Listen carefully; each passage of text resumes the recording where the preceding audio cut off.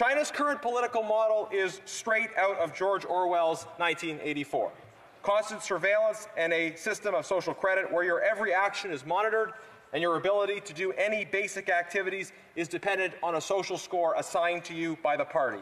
All activity, all investment, all speech, all opinion, all everything is intended to be under the thumb of the state. The state does not recognize bounds of law or commitment, including commitments to other countries.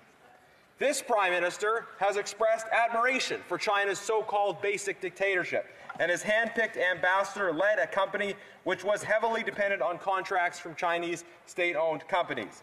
I wonder if Dominic Barton and our Prime Minister read 1984 during their childhood and thought, hey, this sounds like a great place to live. China's repressive political system is not what the Chinese people want.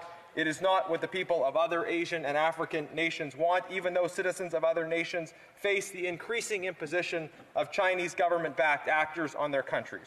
Orwellian authoritarianism is not what Canadians want. It is not what almost anyone wants. So we must stand together against this oppressive political model. And our party stands unapologetically for the advancement of freedom, democracy, human rights, and the rule of law. Hear, hear. This is in our interests, and this is reflective of our values.